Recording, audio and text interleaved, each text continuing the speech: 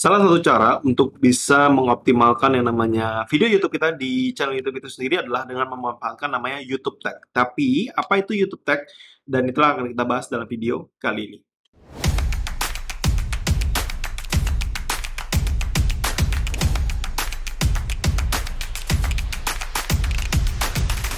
Hai, kembali lagi bersama saya Niko dari Social Media Marketer ID, tempat Anda bisa belajar pemasaran melalui media sosial. Dan topik kita hari ini sebetulnya bicara tentang apa itu sebetulnya yang disebut dengan YouTube Tag. Jadi, uh, YouTube Tag mungkin sesuatu yang boleh dibilang hal yang uh, yang mikro banget gitu ya. Cara tentang fitur yang satu ini mungkin teman-teman udah mulai banyak baca gitu ya. Buat kita yang baru mulai di YouTube uh, perlu memahami sebetulnya YouTube Tag itu apa sih uh, manfaatnya buat sebuah uh, video yang ya biar bisa ada yang nonton sebetulnya. Terutama YouTube Tag itu akan sangat bekerja banget uh, saat kita membangun konten-konten di YouTube yang sifatnya lebih pada sesuatu yang dasarnya kata kunci atau uh, keyword base gitu ya.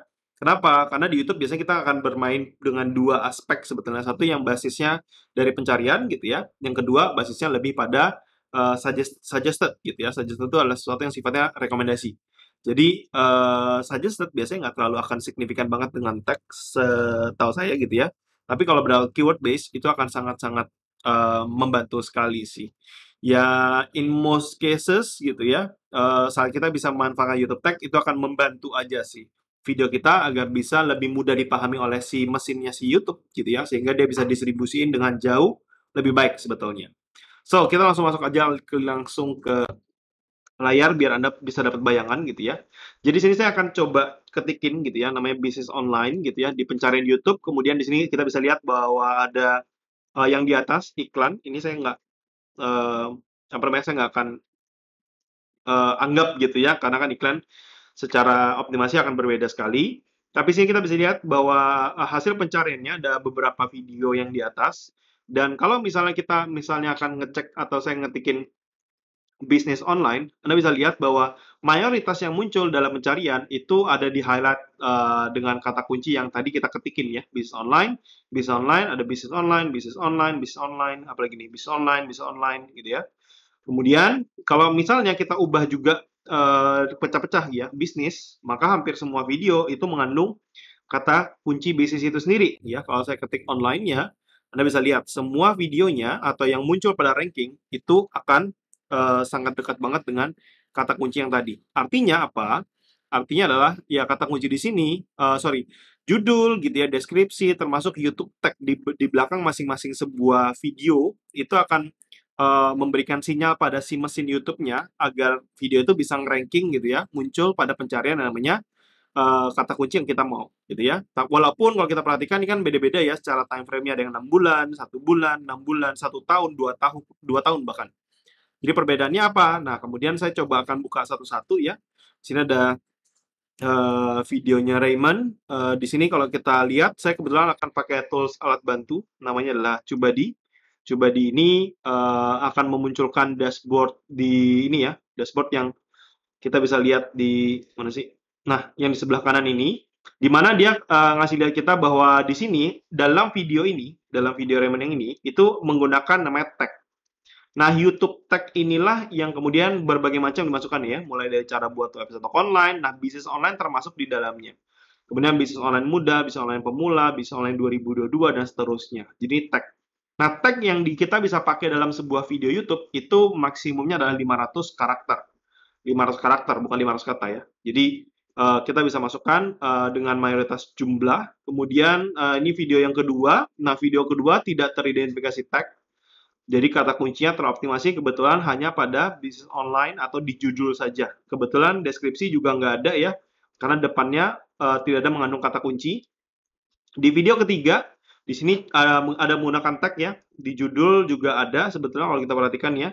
Kemudian di sini walaupun tidak direct menyebutkan bahwa uh, fokus pada bisnis online, tapi YouTube karena juga menggunakan teknologi Google, dia bisa memahami bahwa cara menghasilkan uang dari internet gitu ya itu juga uh, sama maknanya dengan bisnis online sebetulnya which is ya namanya uh, intent ya keyword intent itu juga bisa dipahami oleh si YouTube sekarang kemudian video yang lain juga ada ya di sini uh, menggunakan bisnis pakaian wanita ide bisnis bagi wanita, ide bisnis modal minim, dan seterusnya.